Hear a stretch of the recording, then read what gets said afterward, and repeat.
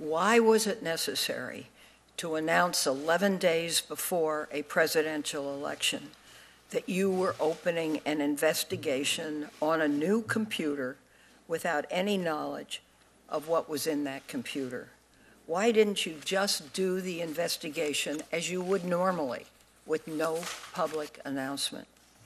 Yeah, great question, Senator. Thank you. Um, October 27th, the investigative team that had finished the investigation in July, focused on Secretary Clinton's emails, asked to meet with me.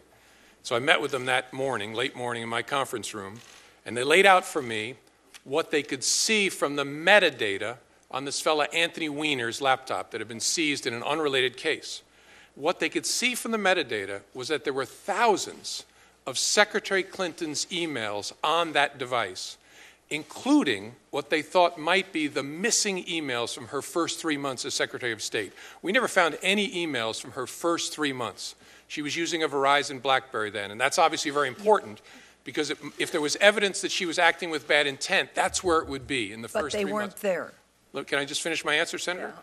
And so they came in and said, we can see thousands of emails from the Clinton email domain, including many, many, many from the Verizon Clinton domain, BlackBerry domain. They said, we think we got to get a search warrant to go get these. And the Department of Justice agreed we had to go get a search warrant. So I agreed. I authorized them to seek a search warrant, and then I faced a choice. And I've lived my entire career by the tradition that if you can possibly avoid it, you avoid any action in the run up to an election that might have an impact, whether it's a dog catcher election or president of the United States. But I sat there that morning and I could not see a door labeled no action here. I could see two doors, and they were both actions. One was labeled speak, the other was labeled conceal. Because here's how I thought about it. I'm not trying to talk you into this, but I want you to know my thinking having repeatedly told this Congress, we are done and there's nothing there, there's no case there, there's no case there, to restart in a hugely significant way, potentially finding the emails that would reflect on her intent from the beginning and not speak about it would require an act of concealment, in my view. And so I stared at speak and conceal. Speak would be really bad.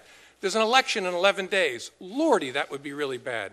Concealing, in my view, would be catastrophic, not just to the FBI, but well beyond. And honestly, as between really bad and catastrophic, I said to my team, we've got to walk into the world of really bad. I've got to tell Congress that we're restarting this, not in some frivolous way, in a hugely significant way. And the team also told me, we cannot finish this work before the election. And then they worked night after night after night, and they found thousands of new emails. They found classified information on Anthony Weiner. Somehow, her emails are being forwarded to Anthony Weiner, including classified information by her assistant, Huma Abedin.